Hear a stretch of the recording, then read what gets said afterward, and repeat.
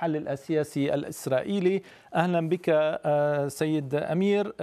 ما هي أثار الهجمات العسكرية التي يقوم بها حزب الله على إسرائيل وحرب غزة؟ لو سمحت أن تكون الإجابات مختصرة لأنه لدي عدة أسئلة.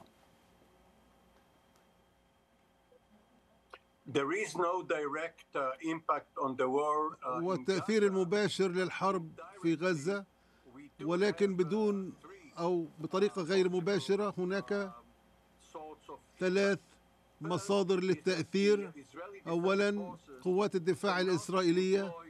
لا تشمل كل وحداتها العسكرية في غزة. عليها أن توفر البعض منها. في الواقع أغلبية الاحتياط لأن الوحدات النظامية في غزة ولكن إسرائيل لديها فرق عسكرية إضافية.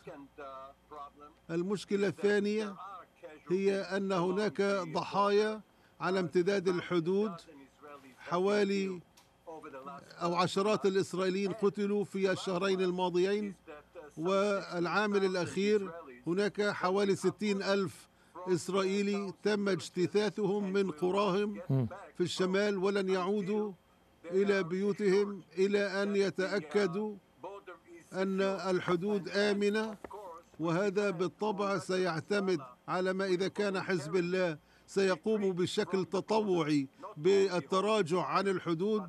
ليس فقط وقف النار وإنما الانسحاب من الحدود إلى أن يصل إلى نهر الليطان في الشمال أم لا؟ إذا لم يقم بذلك إسرائيل ستجرب القوة لطرد حزب الله بعيدا عن الحدود. ولكن السفير جيمس جيفري الموجود معنا في الاستوديو يقول إنه عندما تتوقف الحرب في غزة فالأوضاع على الحدود اللبنانية الإسرائيلية ستعود إلى ما كانت عليه في السابع من أكتوبر وسيتوقف إطلاق النار المتبادل، هل هذا الأمر مقبول من قبل إسرائيل عودة إلى الوضع حسب ما كان عليه قبل السابع من أكتوبر؟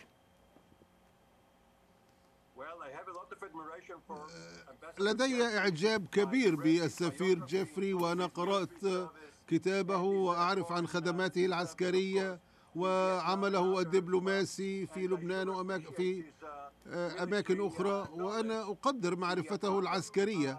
المشكلة هي في الحدود اللبنانية الإسرائيلية. المشكلة هي أنه لا توجد حكومة في بيروت يمكن لإسرائيل التعامل معها.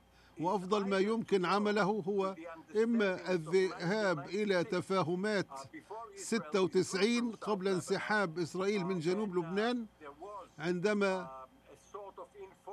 كانت كان هناك تفاهمات غير رسمية ولكن لم يكن هناك أي طرف يقوم بقصف المدنيين الآخرين أو كما حدث قبل 17 عاما بعد حملة لبنان طيب. في صيف 2006 وقرار 1701 الذي منع حزب الله من التوجه إلى الجنوب طيب يعني لكي, لكي نختصر الإجابات سيد أمير هناك مساعٍ دبلوماسية جارية لتجنب الحرب بين إسرائيل وحزب الله.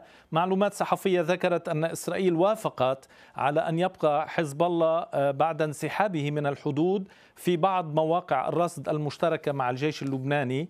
بعد نشر قوات فرنسية في جنوب نهر الليطاني على أن تنشر قوات أمريكية على الجانب الإسرائيلي من الحدود وهذا ما استبعده السفير جيفري قبل قليل أيضا. هل هذه الضمانات مقبولة لدى إسرائيل؟ وما هو المقصود بالمنطقة العازلة المطلوبة؟ هل العودة إلى الحزام الأمني في جنوب لبنان؟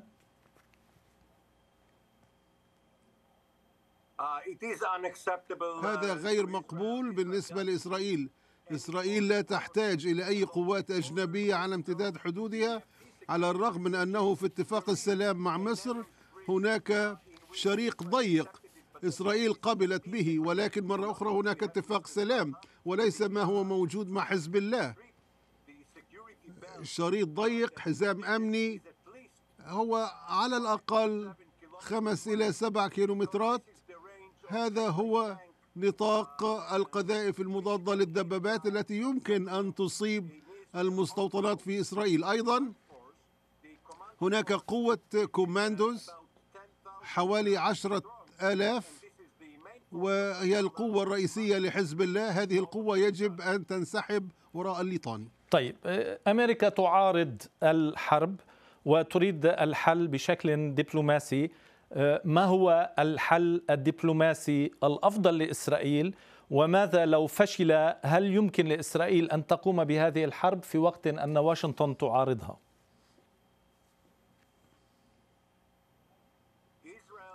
إسرائيل ستكون راضية بالعودة ولكن بطريقة معززة إلى 1701 ولكن يجب تنفيذ القرار. أيضا يمكن أن يكون هناك ترتيبات دبلوماسية بحيث مزارع شبعة موضع الخلاف بين سوريا ولبنان. سوريا تقول إنها أراضي سورية. إلى أن تعطي سوريا المزارع إلى لبنان فإن إسرائيل لن تنسحب منها وتعطيها إلى لبنان. ولكن ممكن لو قمنا بتوسيع هذه الحزمة ولكن هذا كله لا يحدث. عندما تنتهي إسرائيل من الحملة في غزة فإنها بالتأكيد لن توافق على حفاظ حزب الله على قواته على امتداد الحدود وإبقاء المواطنين منع المواطنين الإسرائيليين من العودة إلى بيوتهم. يعني وهذا ما يقال بأنه عندما تنتهي الحرب في غزة ستنتقل إسرائيل إلى الشمال، يعني هل الحرب حتمية مع حزب الله؟ وحتى لو كانت الولايات المتحدة ضد الحرب ومع الحل الدبلوماسي، هل يمكن أن تعارض إسرائيل الفيتو الأمريكي وتقوم بهذه الحرب؟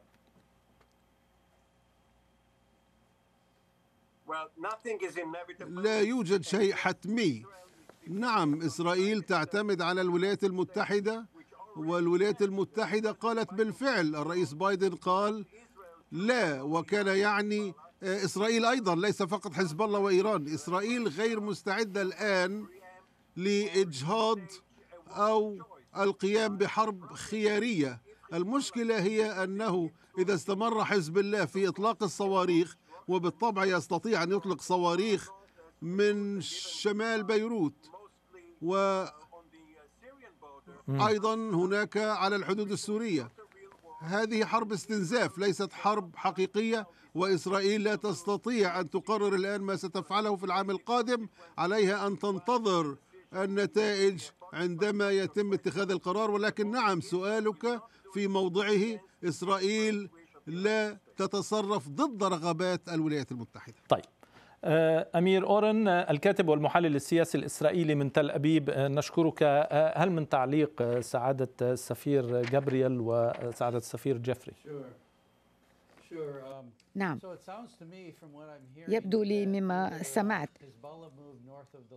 أنه إما حزب الله ينتقل إلى شمال الليطاني وإلا إسرائيل ستقوم بحرب لتدفع حزب الله إلى شمال الليطاني والخيار هنا أو الخياران سيئان خاصة إن كانت